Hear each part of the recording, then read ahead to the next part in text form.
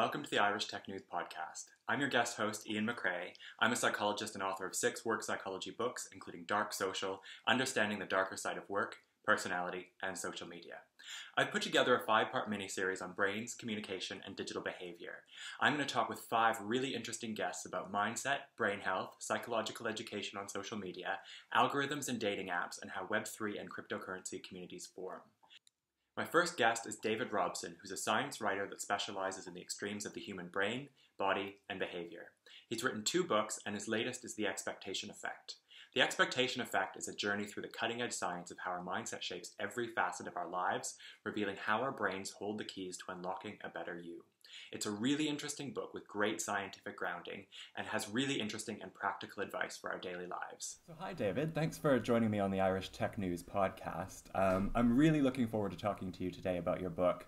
Um, I really enjoy all of your writing. I've enjoyed your last book, and this one was great too. I really like your approach to kind of the practical nature of psychology and science and research. And I think um, your current book, The Expectation Effect, is going to have some really, really interesting and useful advice for people.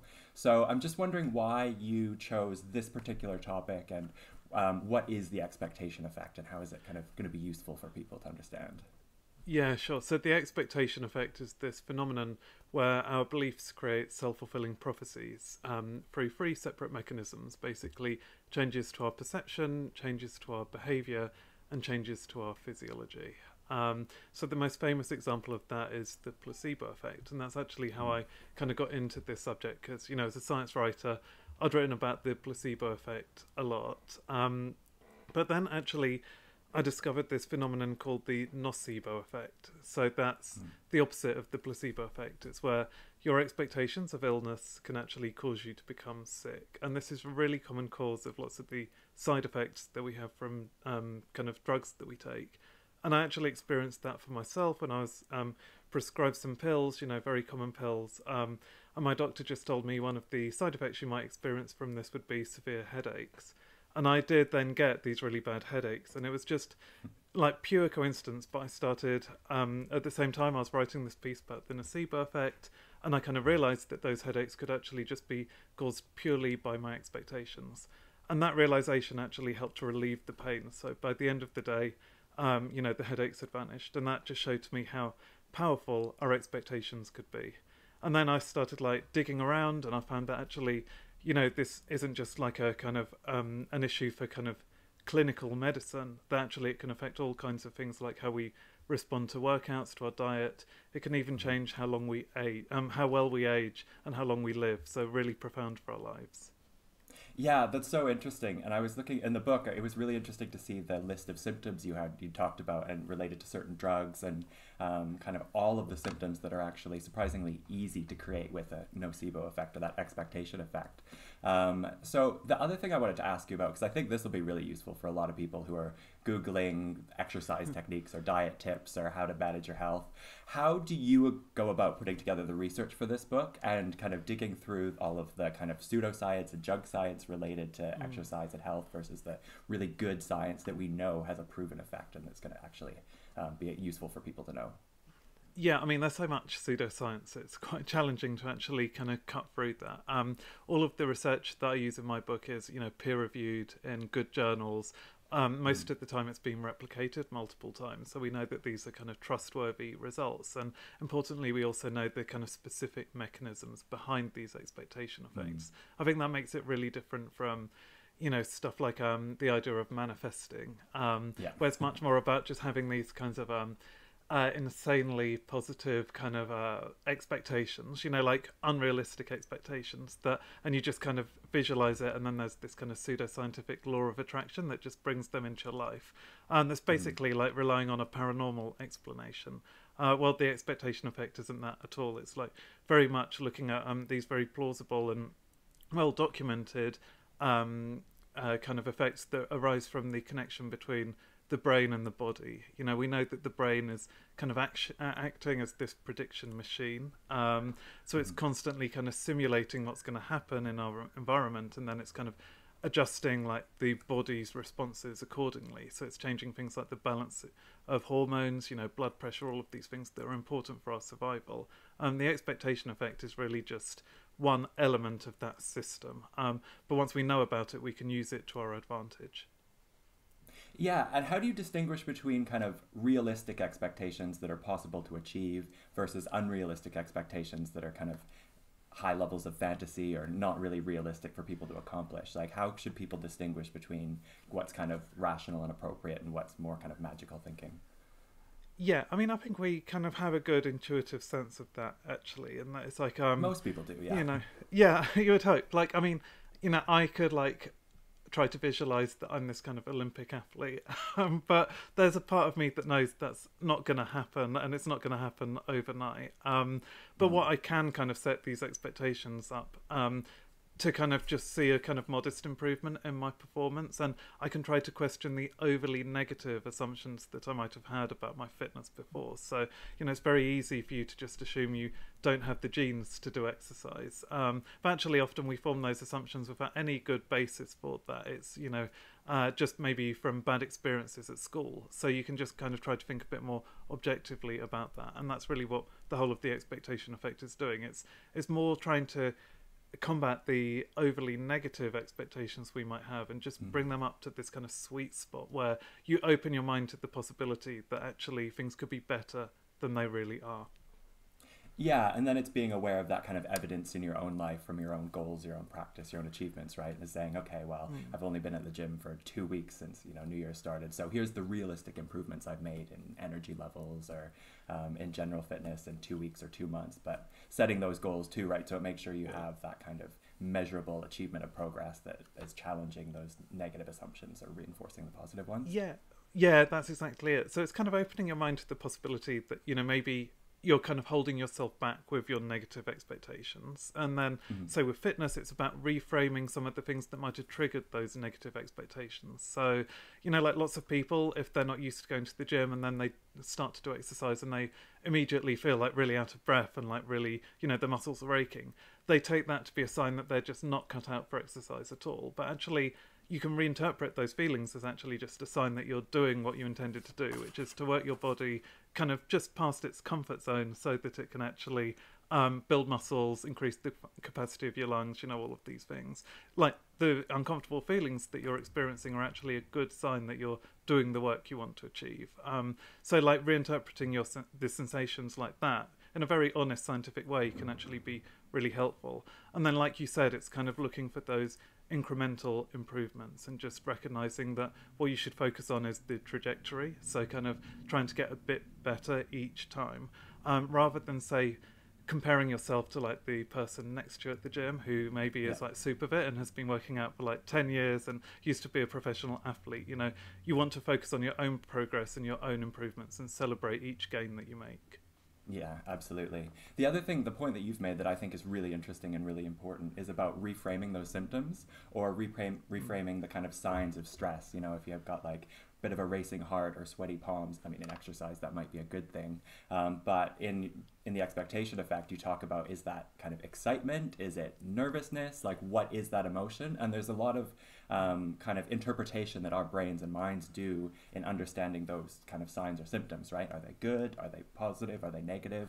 Um, should we be chasing after those or how should we be understanding those? And I think, um, how do you think we can kind of reframe that or understand those kind of physical symptoms of stress in our um, lives and motivation? Yeah, I mean that's all that you said is totally true, and I think like so we've been speaking about kind of exercise and reinterpreting that kind of physical stress as you're um, working out, but actually, you know, the anxieties that we feel when we're facing a big challenge, you know, taking an important exam, going for an interview, doing public speaking, you know, we actually we experience a lot of the similar kind of feelings like um, the racing heart, sweaty palms, um, shortness of breath, um, you know, just that feeling of being kind of wired, um, and like you know, I think our culture kind of encourages us to think that that anxiety is like debilitating. That actually, mm. like, if you're going to perform well, you have to be super calm, super laid back to not feel that stress. Um, what the research has shown is that actually, when you just assume that stress or anxiety is debilitating, that's actually when it um, harms your performance. But there can be another self fulfilling prophecy, and that's that you can actually see the anxiety as a kind of source of energy and motivation. Um, and the, you know that actually a lot of the symptoms you're feeling are really beneficial, and that we evolved these uh, responses because they're adaptive. So you know yeah. when you're in front of a huge crowd and you're feeling kind of pumped up with your heart like racing, that's actually pumping a lot of oxygenated blood around your body, um, especially to your brain, so it can kind of use that fuel to kind of uh, think on its feet. Um, similarly, you know, we know that the levels of cortisol, the stress hormone, um, actually at moderate levels, that's just really useful for helping you to kind of be on the ball and to, to make sure that you're really focused. Um, and the researchers found that actually just teaching people to reinterpret their anxiety in this more positive way. So, not suppressing the feeling and not denying that it's uncomfortable, mm. but just recognizing that it serves a purpose, that that actually then helps these people to perform better. And it also changes how they recover from the stress afterwards. So, you know, they can the body can go back to the other jobs that it's meant to be doing, like digestion, you know, um, kind of healing your tissues. Um, more quickly after this stressful event. Whereas if you see stress as being debilitating, you have like higher levels of cortisol, you know, for the whole day basically, and then that stops the mm. body from recovering. Um, so that can also then maybe have an effect on the long-term effects of stress. If you're doing presentations like every day, and you're having this view that actually that anxiety is debilitating, well, then that's when you're going to be more likely to get, you know, have cardiovascular disease. Whereas if you see it as being potentially enhancing, you're less likely to suffer those long term effects. Yeah, and then understanding some of the mechanisms and strategies to manage that stress too, right? Because I find personally sometimes stress is a very good way of focusing my attention on something that I should right. be worrying about. Um, and sometimes yeah. if I'm not worried about a deadline or I'm not stressed about something, it's I'm, it actually results in me not preparing quite as much or me not, mm. You know, worrying about something that I should be worrying about or concerned about or thinking about. But then it's distinguishing that kind of adaptive, useful, focusing stress versus stressing about stuff that you know you can't control, you can't manage, you can't change, you can't really have an impact on. So understanding what's the useful kind of stress to address, focus on, and look at your expectations towards versus some of the stuff that you might look at other ways of adapting to the stress if you can't control it. Yeah, totally. That's exactly how I see this. As like it's very really useful in some of these um, situations that are kind of stressful but also kind of positive. And actually, you know, often we're choosing to put ourselves in these kind of challenging situations. You know, yeah. like when I'm given the opportunity to do a talk, I can always say no but I say yes because I actually want to do it because I want to engage with the audience. But then when I'm, you know, standing on the stage, it can be easy to forget that. So I think reframing stress in those situations is really helpful. Um, I think it's maybe less helpful, like you said, if it's these kind of uh, chronic stresses that you have no control over. And then it's much mm. better to look for kind of proactive ways to kind of reduce that stress or to find other coping mechanisms. Yeah, because there's all sorts of types of stress that are really severe. You know, if you're looking at people having illness in the family or mm. personal mm, illness yeah. or all sorts of stuff like that, that reframing is might be helpful in some sense, but then there's also all sorts of other kind of stress management techniques and stuff that you need to to manage yeah. the stress because if you can't control the source of it, then there's not much you can do about it. Yeah, yeah, yeah. That's exactly how I see it. Yeah. So the other thing I wanted to ask you about is social anxiety because I think right now there's a lot of people who have social anxiety who may not be used to it just because in the last couple of years with restrictions on social contact and visiting people and how we're what we're supposed to do at work in our social life and seeing other people there's been so many rules and changes and I think there's a lot of uncertainty about social situations that people are struggling with for all sorts of different reasons and I think that uncertainty is sometimes masking stress or confusion about what the rules are sometimes um, belying people's kind of understanding or misunderstanding about what we're supposed to be doing. So, how do we manage our expectations about social situations? Is there stuff we can talk to other people about it, managing the situation, managing external influences? What kind of stuff should we be doing to manage kind of social anxiety for people who have had it either for a long period of time or for who it's fairly new to? Yeah, I mean, I'm really glad you brought that up. So I actually had quite severe social anxiety when I was a teenager, and then you know I kind of got over it um, by the time I went to university. Um, but then, weirdly, like um, after the lockdowns, I felt like I was this awkward teenager again, and yeah, you know, it's quite a yeah, like quite a horrible shock when you just think, like, have I forgotten how to have like a casual conversation with someone? Yeah. Um, so yeah, I do think it's a really common uh, phenomenon, uh, both for people who've had social anxiety in the past, but also uh, people who haven't. Um, but there is research on the expectation effect with social anxiety. Um, so one one uh, technique is what we've already spoken about, and it's actually to recognise that you know if you're feeling a bit anxious about a new interaction, that doesn't mean automatically and inevitably that you're going to kind of make a bad impression uh, on that person. Actually, there's this thing called the liking gap, which is basically this idea that when two people have had a conversation and they go away each one thinks that the other person didn't like them as much as mm. they really did. So we all kind of have this negative bias that thinks that um, we made a worse impression than we really did. Um, so actually, just uh, you know, reframing the anxiety you're feeling and to recognize that actually, you know, it, it's just helping you maybe to pay more attention to the person you're speaking to, and that you don't have to kind of feel shame at being a bit nervous. Like you know, mm. everyone's feeling the same way that can be really useful. Um, there's also research on the growth mindset. So this is this idea that you, um, uh, rather than seeing like a kind of your qualities and talents as being kind of purely innate and inherent and unchangeable, you just recognize that actually you can get better over time, you know, through that mm-hmm. kind of incremental trajectory that I mentioned. Um, and there's research showing that, you know, even for people who've had like uh, social anxiety for very long periods, kind of teaching them about the growth mindset and just recognizing that actually, like, if you make some kind of social faux pas, that doesn't mean that you're like just permanently and always going to be like awkward in conversation, but actually, it's just like one small kind of um, mishap that doesn't reflect anything innate within you um, actually that can be really helpful too. It just makes you feel more relaxed uh, in the conversation and helps you to get over those slight awkward awkward moments a bit more quickly, which just means that um, overall you're going to feel better and you'll get over your uh, social anxiety more quickly. Um, so that's it really, and I just think it is a case mm-hmm. of just like practice, essentially, like just kind of putting Definitely. yourself in these situations again. Yeah, and I think too, people shouldn't be too worried about talking about those anxieties if they have them. If it's with friends or people they trust or family, you can just say, "Oh, I'm a bit nervous about this situation." Um, and I've done a lot of research into kind of stress and anxiety and the kind of personality traits that underlie it. And I find a lot of people who are a bit more stressed about social situations underestimate how stressed other people are. So they think they're a lot more anxious than other people when often they're just kind of average. They're experiencing the same levels of stress, the same anxieties about similar things, but they don't necessarily realize it until they have a conversation about it.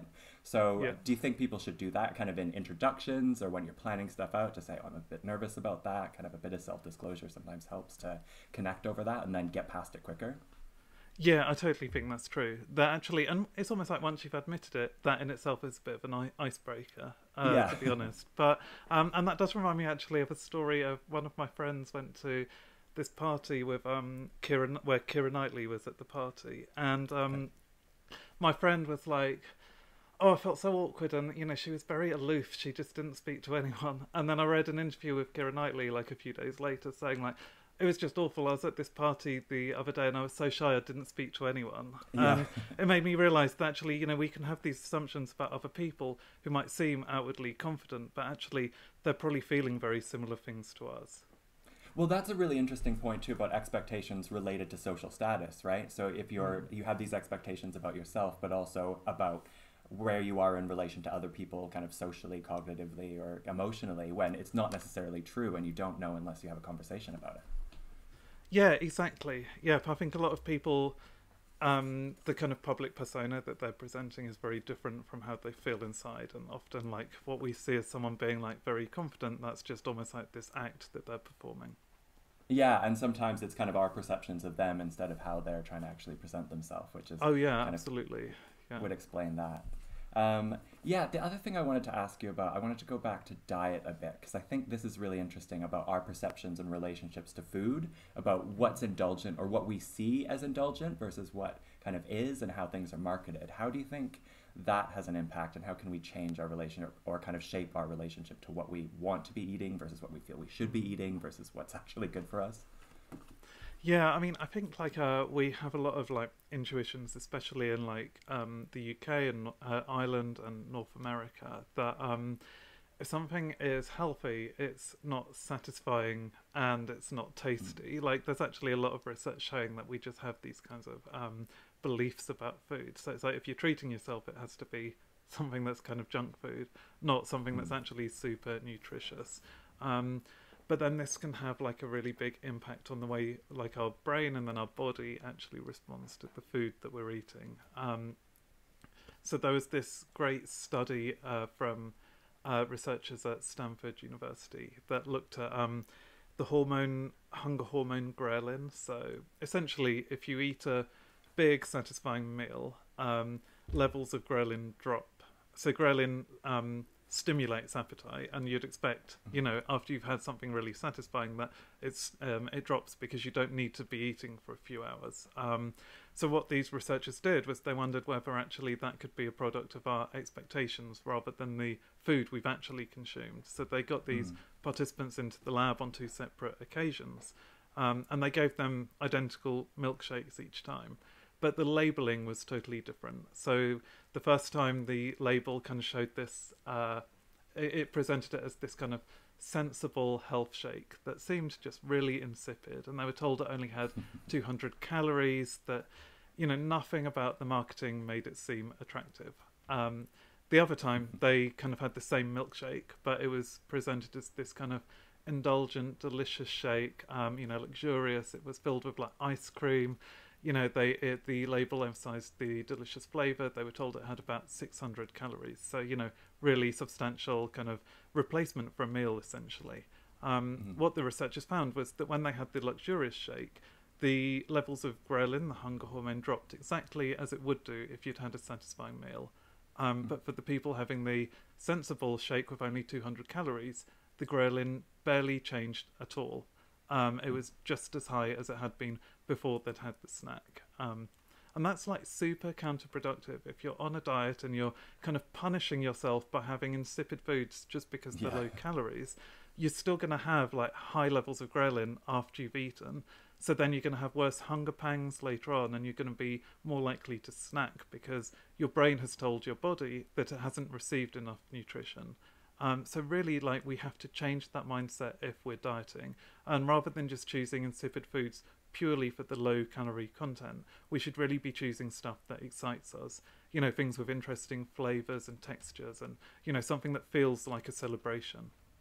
Yeah, and I think there's all sorts of ways to make stuff more indulgent, right? Because I quite like cooking, and I think for me, an indulgent meal, part of the process is choosing the ingredients and exactly what I want, and combining it in what, the right way, and taking a little extra time to make food. So, in a way, I'm thinking more about food for a longer period of time, but just enjoying the experience in a different way kind of makes it more satisfying instead of just about specifically the calories and the nutritional um, kind of criteria and stuff. That can help too, I think.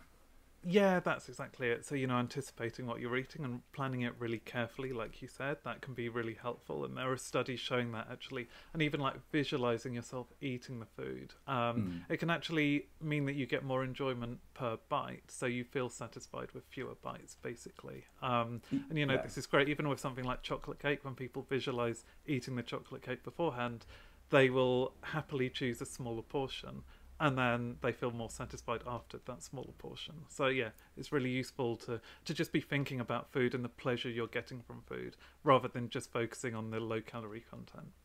Yeah, and actually focusing on the pleasure of it, right? Because you say in the book too, mm. don't watch TV or don't have other distractions while you're eating. So yeah. do more to actually enjoy the food, whatever it is, instead of just trying to get more of it and while you're not thinking of it or just kind of while you're distracted.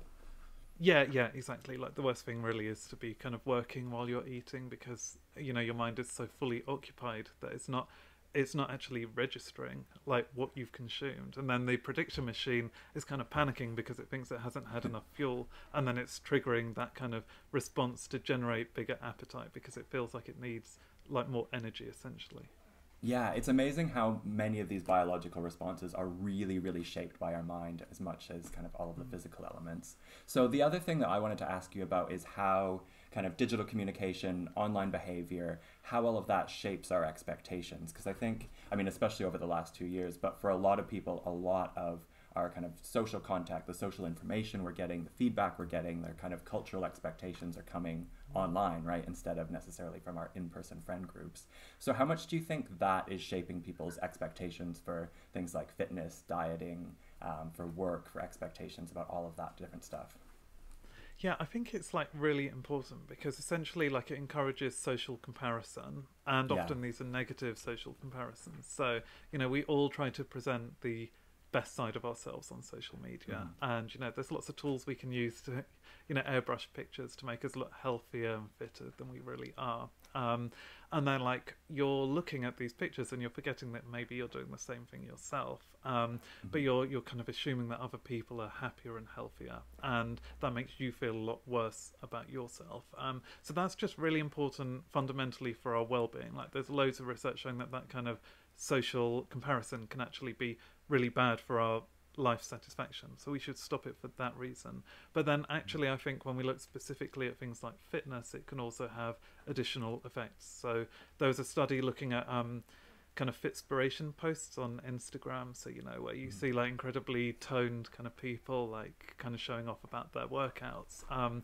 and basically, these researchers just got their participants to either look at those pictures or kind of travel pictures before they did a workout themselves. Um, and it seems that the negative social comparison, so feeling like inadequate compared to other people, that had set up this assumption that these people were less, you know, just less physically fit. Um, so that meant that actually, while they were working out, um, they found the workout a lot harder. And then after the workout, they didn't really experience the runner's high that you might get after kind of pounding on the treadmill for half an hour. Um, they just weren't so happy. It was, you know, it made the whole experience less pleasant.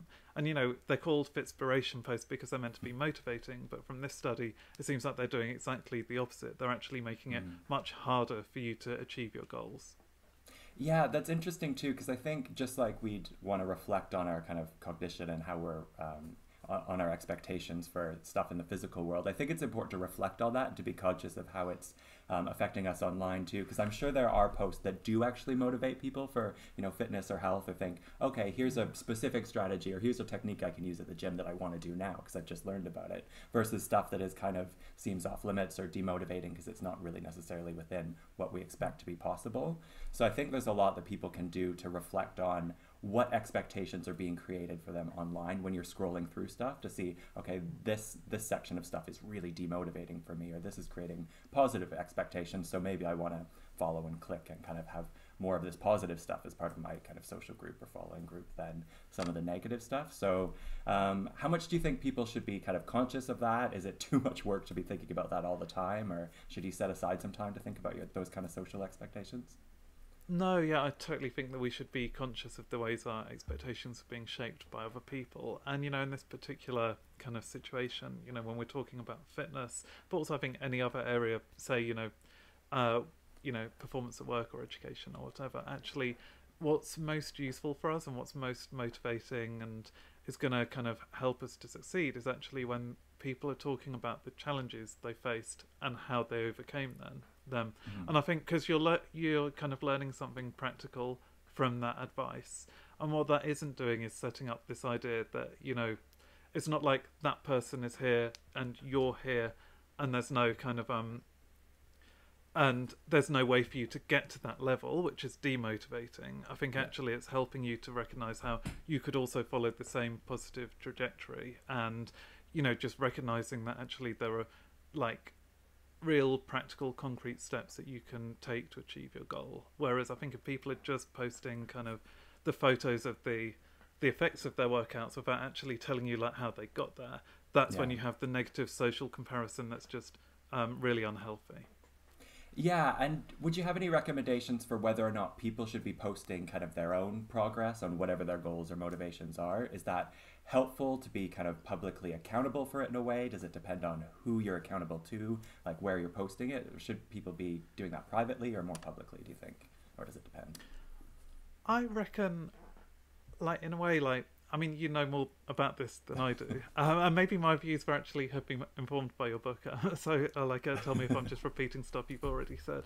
But um, but yeah, I feel like actually maybe if we when we post on social media, if we were almost mindful of like how would this sound if I was actually with my group of friends and I Mm. told them like, you know, if if you feel that you wouldn't say something to like someone face to face, maybe you shouldn't say it on social media. Um, as a kind of general rule of thumb, um, yeah, I think that would stop you from being maybe too kind of varnished in the uh, kind of presentation of yourself on social media. Um, but just in general, I think yeah, it's fine to celebrate our successes, and actually there is good research on confelicity. This idea that people can, you know, rejoice in the success of others. Um, I just think you have to be careful in the way that you're presenting it, and definitely like, like acknowledging the challenges that you had to face to get to that point, and just being Mhm. kind of humble in the way you present your successes. I think that's really important.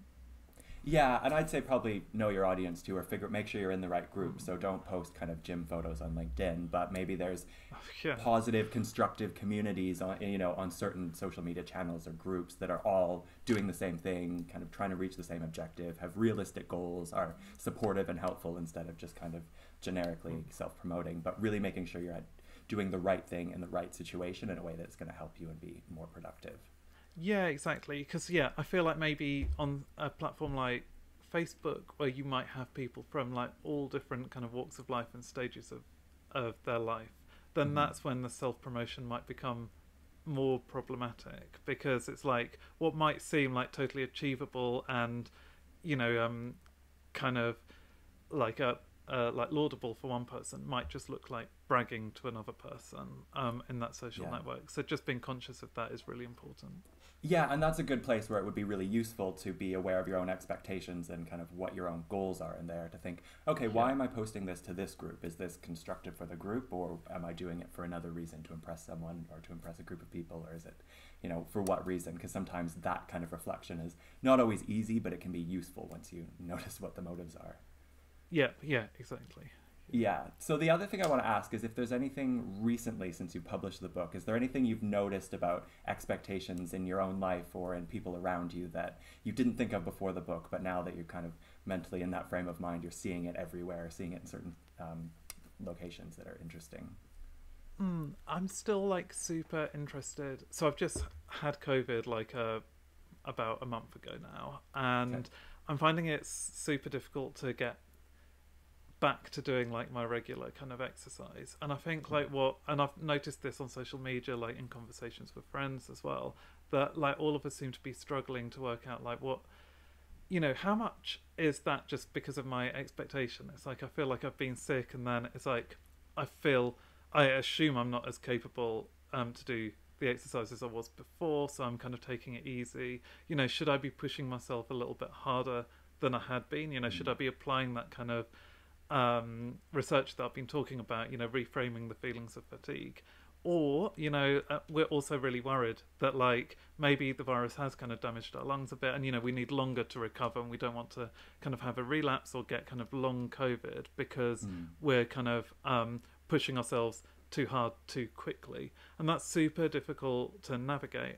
But I am really happy that having written my book, that at least I'm aware I'm aware of the question, and Yeah. because I think it is important for me to kind of question like, am I you know, maybe overreacting to this a bit and maybe holding myself back when I don't need to, you know, Mm. because I think that's where like problems could also arise is if, if like um I just stopped exercising because I'd had COVID and because I'm like trying to recover and then like got like super out of shape because of that and then I'd find it, you know, six months time I'd still be struggling to kind of uh, get my fitness back. So I think actually like just being aware that my expectations might be shaping how I'm feeling, and then just trying to kind of push myself out of the comfort zone, kind of uh, little by little, to kind of test like what the truth really is. That's that's been really helpful for me, and I think you know on social media I just see loads of people discussing the same kind of questions. So. Yeah, that's an interesting one, especially because fatigue has been so talked about so much as one of the key symptoms, and it obviously is. Fatigue can be a very real symptom related to you know amount of oxygen you're getting to the in the blood and in the brain, and it can be, but it can also be psychological. It's really easy to be fatigued, kind of psychologically versus physically, right? Mm. So it's tough to navigate that distinction, and I think, but that really highlights how there's not kind of one answer. It's not always the mind or always the body, one or the other Right. it's kind of a constant dynamic feedback process, which I think you've explained really Yeah. well in the book. Um, how there's not kind of this one strategy you can use, but it's kind of a dynamic thing you always have to be aware of and practicing pretty much consistently throughout your life if you want to keep understanding your own expectations, your own reactions to them, and how you want to fit that into your kind of goals in life. Yeah, exactly. Um, you know, in a way like now, I just don't think it makes sense to kind of separate kind of mental health and physical health because Yeah. actually the lines are blurred um, so much. And you know, like in this case, like you said, like fatigue has like physical components and mental components, and they're both going to interact, and and you need to kind of constantly be aware of that. And you know, I think you know, going back to what I said at the start, you know, there are these three components or kind of mechanisms of the expectation effect is like perception, behavior, and physiology, and they're all kind of so interlinked you can't really separate them. But in a case like this, actually, you know, what I'm trying to do is question the percep- perceptions I'm having while also acknowledging that they could be a real physiological origin, and then just kind of trying to adjust my behavior according to kind of the way I'm reframing what I'm feeling. Um, so yeah, it's it's a tricky kind of thing to navigate, but I think it's just useful to be conscious and aware that yeah, you're of the mental components as well as the physical components. Yeah, and you've done the final thing I want to say is you've done a really nice job. I really like the summaries at the end of chapters where you've given kind of notes about what to do, strategies for things to think about, things to do, things to practice in your own life about food, exercise, about work, about all of these different things that I think people will find really, really practical. So I really want to encourage people to read the book because it's great. I loved it. I agreed with everything in it. Um, and do you have any plans for another book? Anything else you're working on soon? Uh, yeah, I have vague plans, but I haven't really put together a proposal yet. So it's actually Okay. it's just finding the time to kind of write about that. So yeah, I can't say what the subject uh, will be about, but actually, um, it could be helpful for people who have social anxiety. So yeah, I'll say that much. Okay, interesting. I will look forward to talking to you about that another time. And thanks, Cool. really, thanks so much for talking to me today. It was really interesting, really enjoyable. Thank you. Oh yeah, it's been my pleasure. Yeah, thanks so much for the conversation.